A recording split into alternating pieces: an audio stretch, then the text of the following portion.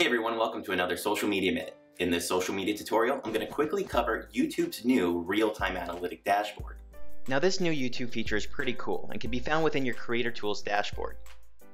When initially accessing real-time analytics, you'll first see estimated views data for your last five published videos. This information can provide you early insights into the performance of your videos and can then be used to adjust their promotion strategy going forward. Now let's quickly go over the real-time data you have available. For example, looking at last week's video analytics, I could see video activity from the last 48 hours as well as the last 60 minutes.